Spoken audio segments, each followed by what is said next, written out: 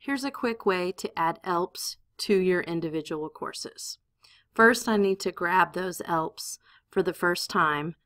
So I'm going to go in here to any course. I'll just open up my kindergarten art. And let's go over here to my options tab and search for those ELPs. ELP. If you type ELP, that's one quick way to find them. Check that box. You have to check, select, and then import.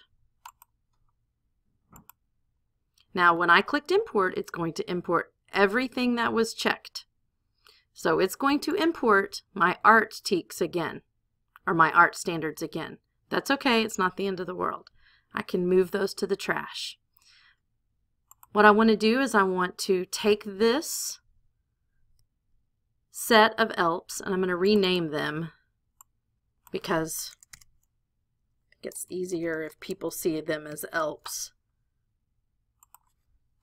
So double click to edit and click off of it and now it's saved. So what I want to do is I'm going to select this. Now watch this trick. I'm going to click copy. I'm going to go into ELAR. I'm going to click on anything, it doesn't matter which, and I'm going to click paste. ELPs. Select it again, click copy, go into health, click on a folder. That's the most important thing is that you click on a folder before you click paste. Give it just a second, it'll refresh. There we go. Select, copy, go into the next course, click on that folder before you click paste. There is not a way to do copy and then paste, paste, paste. It's a copy, paste, copy, paste. But it can be done.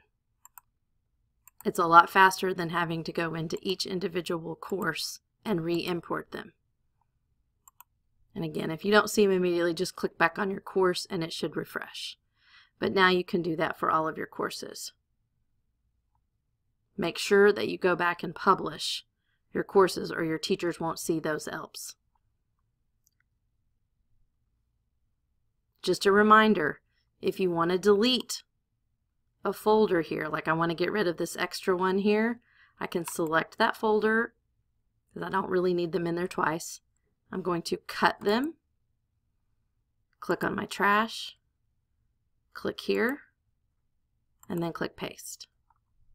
And so now they're in the trash, and if I go back to my art, kindergarten, I should see them all. I want to make sure I publish and OK.